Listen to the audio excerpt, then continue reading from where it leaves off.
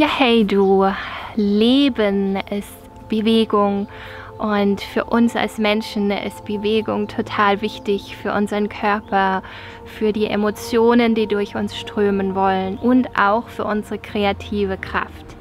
Die heilsame Bewegung, die ich gerne praktiziere in meinem Alltag, ist eine Technik, wenn man so möchte, wo wir nicht vom Kopf her uns zwingen, in die Bewegung zu gehen und wo wir auch kein fertiges Bild haben, wie die Bewegung aussehen muss. Diese weichen, heilsamen Bewegungen laden dich ein, still zu werden, nach innen zu lauschen und zu entdecken, dass es bereits einen natürlichen Bewegungsfluss in deinem Inneren gibt, in den du dich einklinken kannst.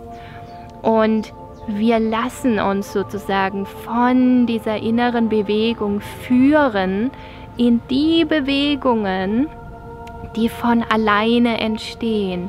Das ist erstmal total spannend, finde ich, weil jede Bewegungssequenz ist anders.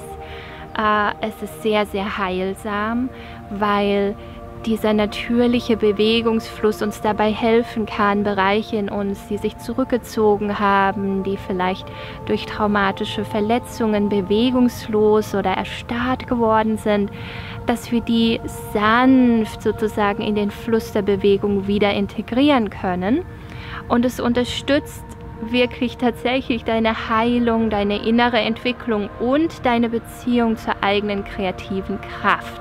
Und gerade im Moment, wo bei vielen Menschen energetisch so viel los ist und so viel Anspannung in der Luft liegt und wir manchmal auch dazu neigen, zu sehr im Kopf zu sein, lade ich euch ein, in die andere Richtung zu gehen, mehr zur Erde zu kommen, mehr im Körper zu landen.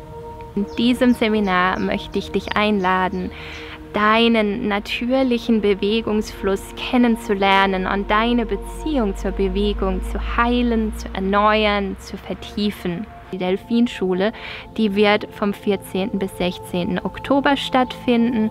Bis zum 11. Oktober könnt ihr euch anmelden.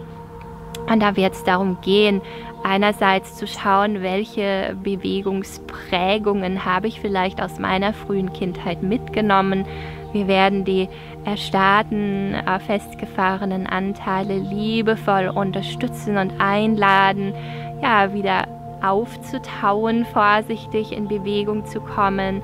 Wir werden immer wieder Bewegungssequenzen machen gemeinsam.